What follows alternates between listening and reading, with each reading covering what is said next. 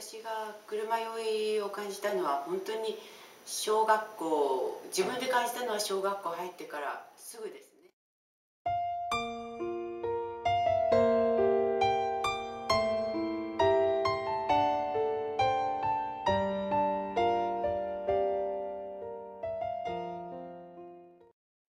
中学校の時ですねあの遠くまで修学旅行に行く時船に乗ることがありましてでその船酔いがちょっとすごい乗ったことがなかったんですけども先生に相談したらあの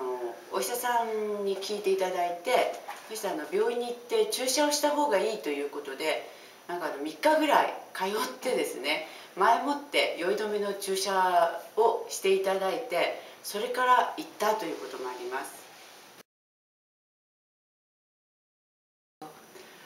子供が小さい時の写真とか家にあるんですけれども主人と一緒に動物園行ったりとかですね。あとお花見のこう写真とかもあるんです。海に行ったりした写真もあるんですけどなぜか私が写ってないんですね。なんで私この時写ってなかったんだろうとか思ってよく考えたらあの私バスもそうですけど車も全然ダメででその車に乗れないんですね。気分が悪くなる。なのでよく考えたら私は乗ってなくって 主人が子供を連れて行ってあの写真を撮ったっていうそういうのがあだから私は乗ってないんだなとか思いました。うちの子供たちが行ってた幼稚園が教会の幼稚園だったんです。でそこは家から23分のところだったんですけれどもで私はそこでイエス様を信じて教会に通うようになりました。そしたら半年ぐらいしたらあの主人の両親と同居するということになったのであの家を新築するということで、えー、その場所がですねちょうどそこからあのバスで40分ぐらいするところに家を作ることになったんですね。で私としてはえー、困ったなと思ったんですね私あのバス5分でもダメだったのに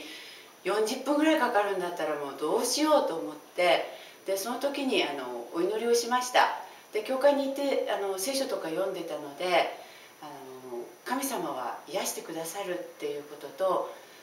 神様にとって不可能はないっていうその言葉を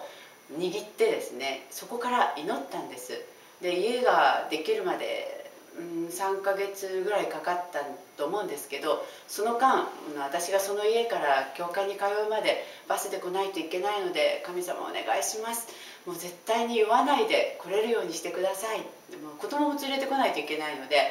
もうあの往復言わないでできるように神様お願いします。癒してください。っていうすごく祈ったんですね。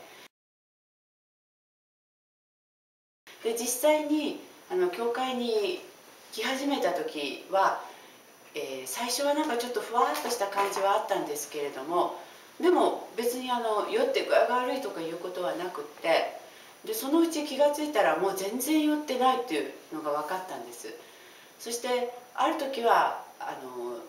うちをこう経由してあの車で送ってくださる方がおられてでその方が乗せてくださったんですけどうちはあの結構高台のところにあったのであの山をこう降りたり登ったりっていうような感じのところがいくつかあったんですけれどもでも全然その車がどんなふうな状況で走っていても気持ち悪くなるっていうことがなくって、まあ、そこから私は本当に癒されました。白馬キャンプにあの福岡協会から行く時にあの教会から白馬までバスで行くことが多いんですね。皆さん教会の方々と一緒に行くんですけどそうすると夜中の11時ぐらいに出てで白馬に着くのがあの昼の12時ぐらいに着くんですけどあのその間私酔ったことがないんですね。こっちに来てから一回も酔ったことがなくって。であの以前はえー、バスの中で何かを食べるってことができなかったんです。小学校の頃とかすぐ酔うのでガムしかも昔あのグリーンガムとかクールミントガムっていうのがあったんですけど あれしか食べれないですね。あのなんかオレンジの味がしてるとかいちごの味がするとかあの匂いだけでもうダメなのでそのグリーンガムとクールミントガムの2つしか食べれなくって常にもうそれだけを食べる。でみんながあのチョコレートを食べたりですね。あとオレンジジュースを飲んだりとかするんですあれ絶対ダメだバナナも絶対ダメでしたね。であのそうやってもう食べ物とかは車の中で食べるとか考えたこともなかったんですけれどもただあのずっとこうバスの一番前に座ってあんまり動かないようにして前だけ見てガムを噛んでるみたいな本当つまんないあの乗り物はそんなつまんないものでしか私にはなかったんですけど白馬行く時はみんなと喋ったりおやつ食べたり中であのお弁当を食べたりですねあの匂いがいっぱいするお弁当を普通に食べても全然気持ち悪くなることもないですしあの酔ったりもしないんですね。だから本当に神様は素晴らしいなと思います、この教会に来てからよくあのアメリカに行ったりイスラエルに行ったりっていうのがありましてあの私もそれに参加したんですけれども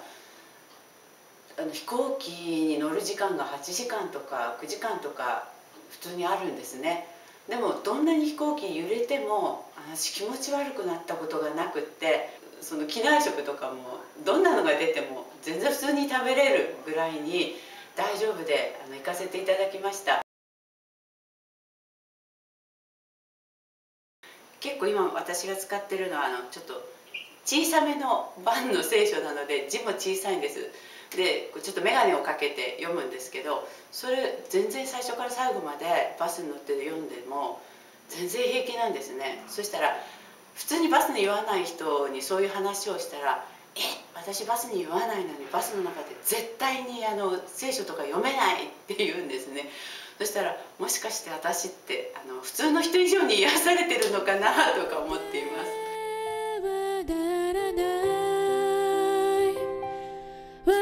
私はあなたと共にい。る驚い。てはなら